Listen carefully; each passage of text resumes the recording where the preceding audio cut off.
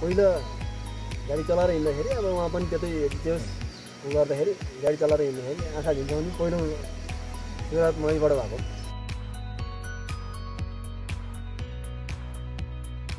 नमस्कार। हामी आज चाहिँ यो तारकेश्वरको माथि रहेको पकली। धर्नामा छौँ। नमस्कार है। मेरो घर दोलखा जिल्ला मेलुङ गाउँपालिका वार्ड नम्बर छ काफ्ले हो। मेरो नाम चाहिँ श्याम कुमार श्रेष्ठ हो। र अहिले म हाल अस्थायी चाहिँ मनमजु। तारकेश्वर नगरपालिका वार्ड नम्बर दसमा बस्छु।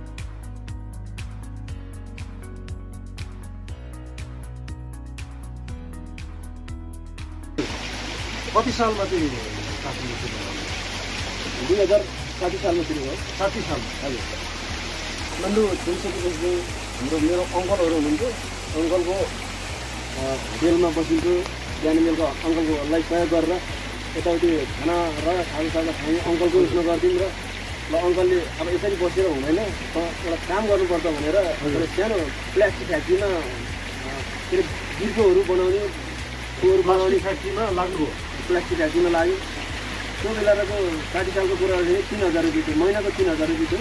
त्यसपछि त्यो कामले अब मलाई यो यो कामले चाहिँ अलिक मलाई जीवन चलाउनलाई अलिक सँग गाह्रो हुन्छ कि भन्ने हिसाबले म चाहिँ गाडीतिर खलासी बस्छु नि भन्ने सोच्नु गाउँकै गाडी हुनुहुन्थ्यो। अनि ल खलासी बस्नु पऱ्यो भन्दाखेरि उहाँले ल त हुन्छ भनेर स्वीकार्नुभयो त्यो कामलाई मैले खलासी निरन्तरता दुई वर्ष दिएँ। दुई वर्ष खलासी अन्त त्यतिखेर एक्लै खलासी हुन्छ धेरै गाह्रो थियो। कुखुरा बोक्न पर्थ्यो दाना बोक्न पर्थ्यो हरेक चिजमा गाडी ठाउँ ठाउँमा धेरै सङ्घर्ष गरियो काहीँ हिलो भन्न पाइएन काहीँ हजुर। पानी भन्न पाइएन काहीँ घाममा भन्न पाइएन त्यति गरेर सङ्घर्ष गरेर खलासी जीवन धेरै सङ्घर्षपछि धेरै गरेपछि लाइसेन्स निकाल्नुपर्छ। अब लाइसेन्स निकाल्नु भने गाह्रो हुन्छ।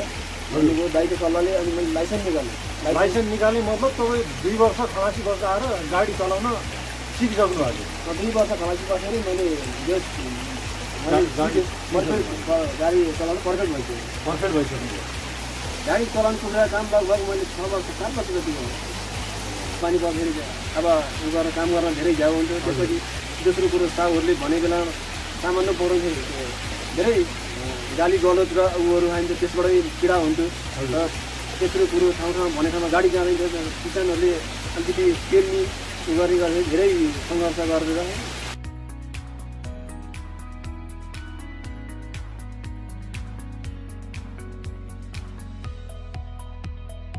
अनि बिचमा प्राइभेट गाडी पनि चलाएँ साउ बोकेर अफिसको गाडी कारहरू चलाउनु भयो कार चलाएँ। कार चलाएर पनि अलिकति जीविकोपार्जन चलाउन अलिकति गाह्रो असहज भयो। असहज भयो। यसले पनि हुँदैन भन्ने हिसाबले। अनि त्यसपछि त्यसपछि चाहिँ आफ्नै गर्नुपर्छ भन्ने सोचायो हजुरलाई। म आफ्नै गर्नुपर्छ। केही भने दुई रुपियाँ भने पनि आफ्नै भयो आफ्नै राम्रो हुन्छ भन्ने हिसाबले मैले आफैले एउटा ट्याक्सी व्यवसायमा हालेको आफ्नै व्यवसाय गर्दा र अरूको गर्दामा कतिको फरक पाउनु आफ्नै गर्दा र अरूको गर्दा अरूको गर्दाखेरि चाहिँ धेरै सङ्घर्ष पनि धेरै गर्न पर्ने भनेको बेलामा नगर्दाखेरि साउले गाली गर्ने र अनि कोही बेला। छुट्टी पनि नपाउने बिरामी। हुँदाखेरि बिरामी बिरामी नपाउने त्यो हिसाबले आफ्नै गर्नुमा चाहिँ राम्रो छ अँ, त्यो म अब विवाह त भइसक्यो। विवाह होइन? प्रेम प्रसङ्गतिर लागौँ। के छ?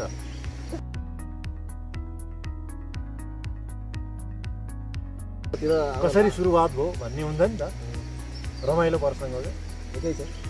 अहिलेको हजुरको जीवन सङ्गिनी हुनुहुन्छ नि त। उहाँको भेट चाहिँ कसरी भयो? मेरो जीवनसँगीसँग भेट चाहिँ लगभग म गाडी चलाउँथेँ। म जुन बेला खलासीबाट ड्राइभर भएर कुखुरा गाडीमा लागेँ। कुखुरा गाडीमा कुखुरा गाडी चलाउँदै हुन त अब ड्राइभर पुलिस आर्मी भनेपछि केटीहरू हुर्कै हुन्छन् भन्छ नि त। त्यस्तै हो। त्यस्तो चाहिँ होइन। त्यस्तो थिएन म त। हजुर हजुरसँग चाहिँ कतिको हुर्कै हुन्थ्यो केटीहरू? त्यस्तो त म मैले पनि चासो दिइनँ। अब मलाई त्यस्तो इन्ट्रेस्ट पनि थिएन र त्यसमा त्यति ऊ भएन।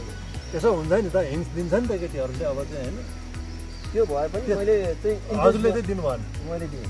अहिलेको जीवनसङ्गीसँग भेट चाहिँ र जीवनसङ्गीसँग ऊ गर्दा चाहिँ हो अब उमेर र परि साथीभाइले पनि र उमेरले अब चाहिँ यसो उ गर्नुपर्छ है अब भोलिको दिनमा विवाह अथवा घरतिरबाट नि हुन्छ अब अब चाहिँ गर्नुपर्छ भन्ने जीवन मैले मन पराएँ भन्ने हुन्छ नि त। मन पराएँ भन्ने चाहिँ कतिखेर कहिले भयो?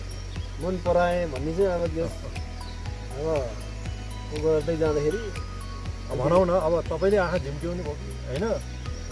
उहाँले चाहिँ आँखा झिम्क्याइदिनु पहिला गाडी चलाएर हिँड्दाखेरि अब उहाँ पनि त्यतै त्यो उ गर्दाखेरि गाडी चलाएर हिँड्दाखेरि आँखा झिम्काउने पहिलो सुरुवात मैबाट भएको।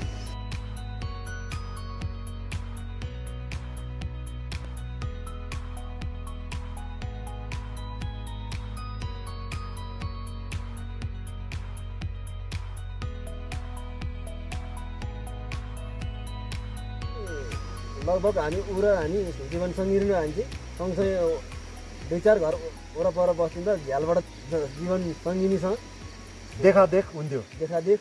कहिले काहीँ फोनमा चाहिँ कुरा हुन्थ्यो देखादेख मात्रै हुन्थ्यो कुरा फोनमा कुराकानी त हुन्थ्यो होइन? नम्बर चाहिँ कसरी लिनु?